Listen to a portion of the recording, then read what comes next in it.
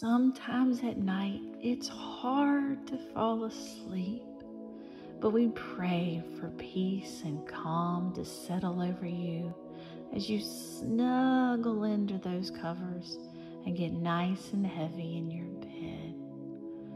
Psalm 63 6 and 7 says, Because your love and kindness is better than life, I will praise you with my mouth, and I will bless you while I live.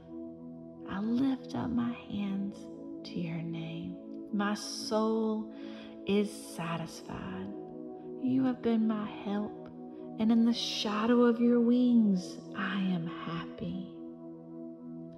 God wants you to know that He loves you more than you can ever, ever imagine. He speaks life over you. When you pray, He hears you. Every single word. When you are happy, He is there. When you are sad, He is there. And when you are afraid, He is still there. Psalm 56 and 3 says, When I am afraid, I put my trust in you. Those who go to God the Most High for safety will be protected by God all powerful.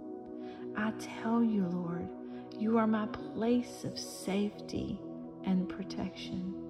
You are my God, and I trust in you. God will save me from hidden traps and deadly disease. He will protect me like a bird spreading its wings over its babies. God's truth is like an armor and a shield. I will not fear any danger by night or any arrow during the day. I am not afraid of diseases in the dark or sickness during the day.